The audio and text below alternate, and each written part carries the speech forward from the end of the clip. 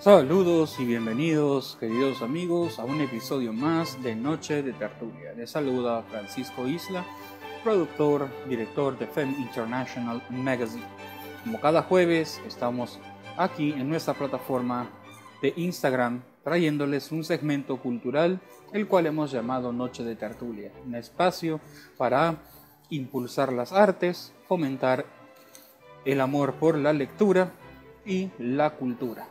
El día de hoy tenemos un invitado de lujo, el señor Miguel Ángel Zaires, que tiene un resumen impresionante, un récord de verdad admirable. En el 2013, Mosaicos Andinos del Perú, un grupo de New York de danzas andinas del Perú. Asimismo, en el 2015, Perú Inca Folk en la Academia de Danzas de Perú. 2017, presentación para un evento organizado por el National Geographic en Washington, D.C. En el 2017 participa en la película El Gran Criollo, la cual fue dirigida y producida por el gran director peruano de fama internacional, el señor Alex Hidalgo. En junio del 17 es ganador del concurso Mr. Perú. Asimismo, seguimos que en el 2018, en marzo, forma su academia Side Dance Academy. En junio de ese año, en la filial de New York, en el Club Libertad, estuvo en la categoría senior. Y en agosto fue campeón de la Phillies de Los Angeles del Club Libertad categoría senior. Su récord continúa y en el 2019 en el Condor Pasa de Indian Hope, música dirigida por el gran compositor de fama internacional Dante Valdés, acompañado por la Orquesta Sinfónica de las Naciones Unidas y dirigidos por la coreografía de la exitosa y talentosa Cintia Paniagua agosto de, año pasado, tuvo la participación en la película Los Campeones, como primer musical en español producida en los Estados Unidos y Canadá por Sky Films y dirigida por el productor cinematográfico Alex Hidalgo. Septiembre es nominado como Artista del Año 2019 por su sobresaliente desempeño como artista en los Estados Unidos. Así que, queridos amigos, tenemos un invitado de lujo. Recuerden que pueden hacer sus preguntas al final del programa a cada uno de nuestros invitados para que sean contestadas lo más pronto posible y si desea puede hacernos llegar sus preguntas con anticipación a nuestro email at que nosotros le haremos llegar a nuestros invitados. Recuerde que la cita es aquí todos los jueves a las 8 de la noche, hora de New York, un episodio más de Noche de Tertulia. Muchísimas gracias a todas las personas que están entrando en estos momentos y vamos a invitar a nuestro amigo Miguel Ángel. Miguel Ángel, ¿cómo estás? Un gusto, buenas noches. Buenas noches, Francisco. ¿Qué tal? ¿Cómo estás? Muy bien, impresionado de leer tu récord, que creo que se quedó un poco corto porque tienes muchos años de trayectoria exitosa. ¿Cómo se Gracias, gracias, gracias, gracias. Sí, sí, gracias, gracias por los saludos. Y bueno, primeramente, eh, antes que todo, te quería dar las gracias. Gracias por la invitación a tu programa. Eh, para mí es una alegría y un honor estar acá esta noche con ustedes compartiendo. El honor es todo nuestro en tenerte. Cuéntanos un poquito dónde tú naces, naces en Perú, en Italia, porque tenemos entendido que estuviste por allá. Cuéntanos, por favor. Eh, bueno, yo nazco en el Perú, en el lejano 1983.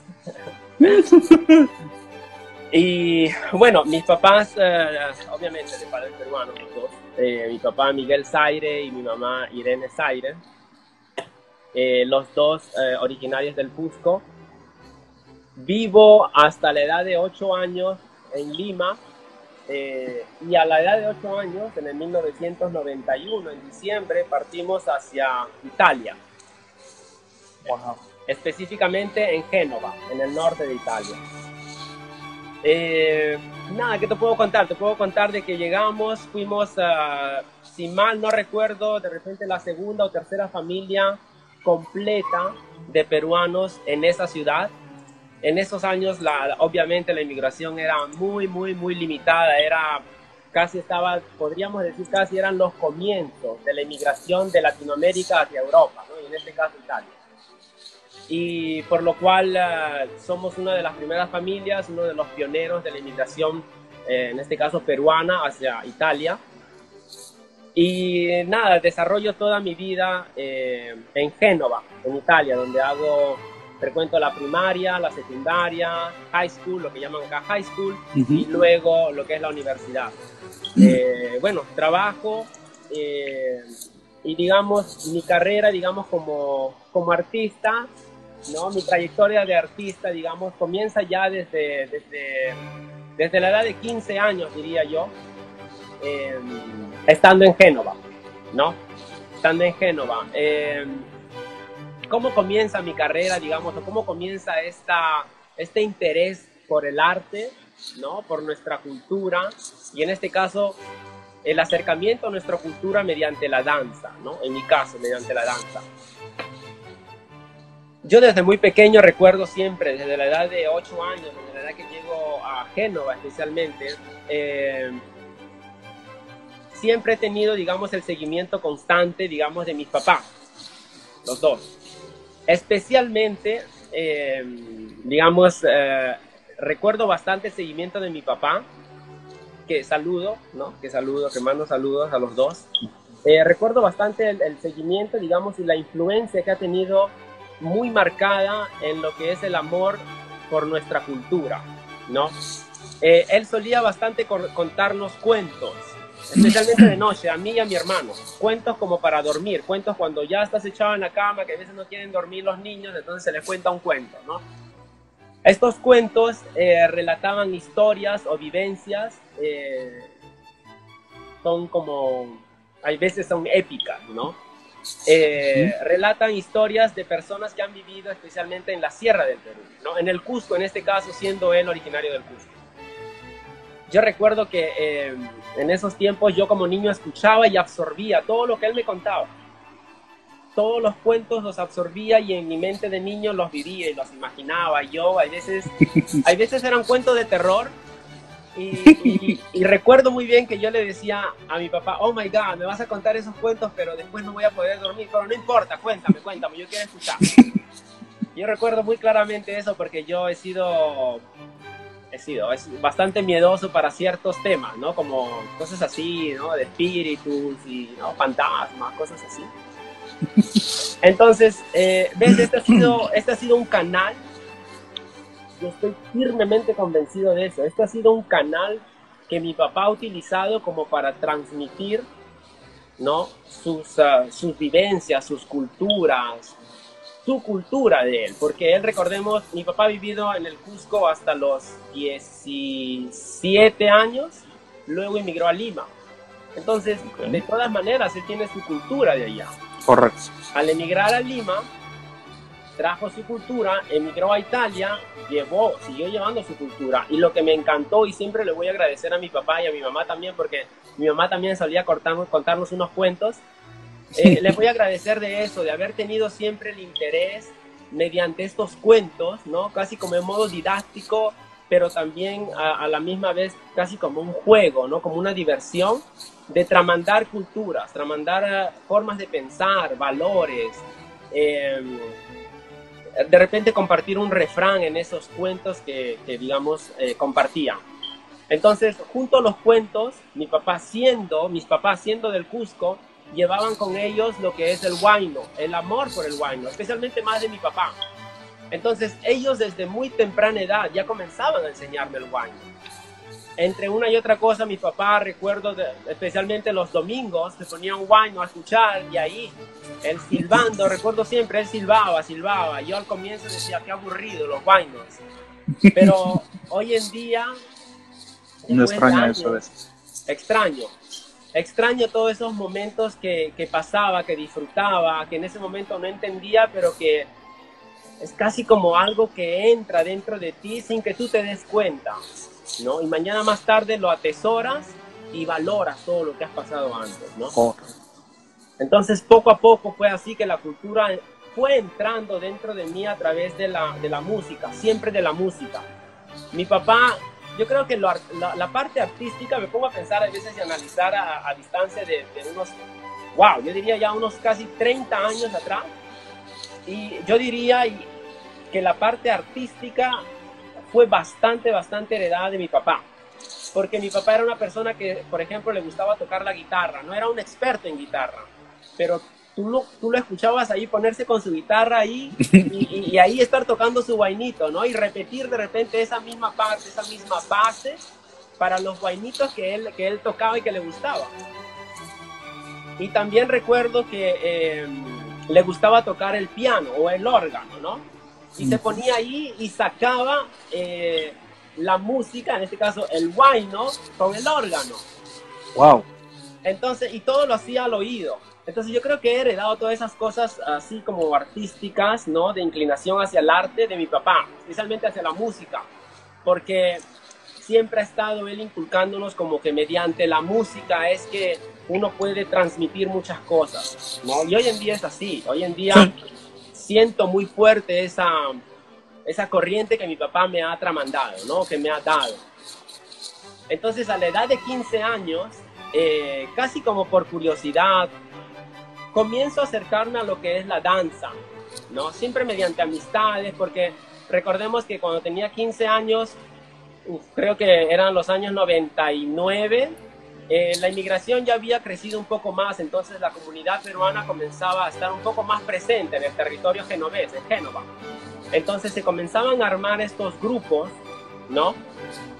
Grupos de peruanos, eh, que compartían, compartían fiestas, compartían reuniones, compartían eh, en las iglesias se reunían bastante, compartían una cierta devoción a los santos, ¿no? Como el Señor de los Milagros. De los milagros. Exacto. Entonces, poco a poco, la comunidad creciendo comenzaba a, obviamente tenía su cultura del Perú, entonces comenzaba a querer también tener esas, eh, eh, esas costumbres, a querer ponerlas en el territorio de Italia, ¿no? Para no perderlas. Entonces eh, comenzaba a suceder algo muy, uh, muy interesante y muy importante, a mi parecer, de que la cultura siempre gana, o sea, la cultura tú siempre te la vas a llevar, donde quiera que estés, la cultura, tu cultura es como tu identidad. Y, y, y vamos a tocar este tema más adelante también, este, esta, esta palabrita identidad, que es muy importante, en mi vida ha sido muy importante, eh, querían llevar su cultura.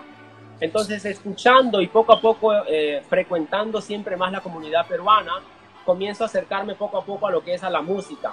Primero las danzas andinas, porque, eh, digamos, eh, digamos en todo el mundo, especialmente en esos tiempos, eh, siempre somos reconocidos por la música andina, ¿no? Bastante la música Sí. andina. Bastante.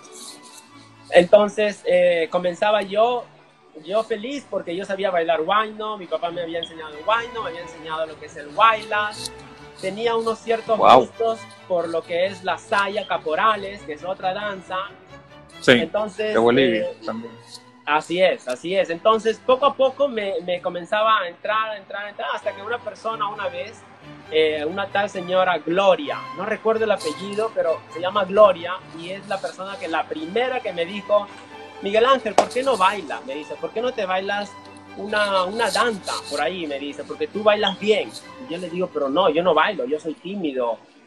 Yo, no, imagínate, yo cómo voy a ¿Tú? bailar delante a tanta gente. Le digo, no, no, no. Definitivamente no, le digo. Y me dice, piénsalo, me dice, porque esa noche va a haber una presentación y sería bonito que tú bailes. Y Francisco comenzó así, comenzó como un juego, me preparé y la primera danza que preparé, digamos, fue una marinera, una marinera norteña. Y así poco a poco fue que, digamos, comenzó este interés por lo que es la marinera y en general las danzas, porque te digo, ya desde Italia eh, comenzaba ya a bailar lo que es el, el huayno, huaylas, otros carnavales eh, de diferentes lugares, diferentes regiones del Perú, diferentes departamentos, lo que es eh, la marinera norteña. Y todo esto yo pienso el día de hoy que, digamos, es simplemente la danza, así como otros tipos de arte, es una expresión, es una expresión de lo Correcto. que tú llevas por dentro, ¿no? Es un querer, es un modo de comunicar y transmitir a las personas que te están mirando. Esto es verdad, coincido contigo plenamente porque es la forma de mostrar la cultura de un país. A través de su música, no solo su gastronomía, también su música. Igual como mencionas en Puno, por ejemplo, de la Virgen de la Candelaria, que eso es enorme y visto todo por todas partes del mundo, ¿no? y se ve, en la televisión aquí mismo lo pasan, asimismo viajan de diferentes partes también de Europa, no solamente de la Sudamérica, sino de Europa también llegan a verlo, porque es impresionante, la verdad, los trajes que son hechos a mano. Y eso es una labor que demora y es inversión de tiempo, dinero, digamos, lo que cuesta, pero el, el arte, cómo lo van haciendo a mano, es, es impresionante verlo, los colores, cómo se preservan, increíble. cómo, cómo coloran las telas con... Uh, con hierbas. No sé si has visto la elaboración que hace, es increíble. Es como que es como que cultura milenaria, ¿no? Que tramandan y, trascende. Otra palabra importante también que después lo vamos a tocar.